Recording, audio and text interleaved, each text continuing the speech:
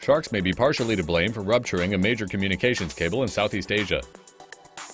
Most of the world's communication is conducted through fiber optic cables buried in our oceans. On Monday morning, internet connection in Vietnam was disrupted due to damage to a major underwater cable running from Southeast Asia to North America. The rupture occurred between a section of the cable that runs between Vietnam and Hong Kong.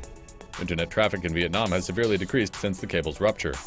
Repairing the cable may take up to a month as the search for this specific fracture point continues. Fiber optic cables transmit information by using lasers to send data through glass optical fibers. Fiber optic cables are made up of these optical fibers surrounded by many protective layers. The cables are vulnerable to various hazards in the ocean, though, including earthquakes, large vessels, and dredging. Sharks are also known to bite fiber optic cables as they may be attracted to the cable's high voltage. In response to these threats, companies like Google, which has invested in thousands of miles of cable across the world, are choosing to further reinforce their cables in order to prevent experiences like Vietnam's. See a story that really should be animated? Suggest stories to Tomo News now.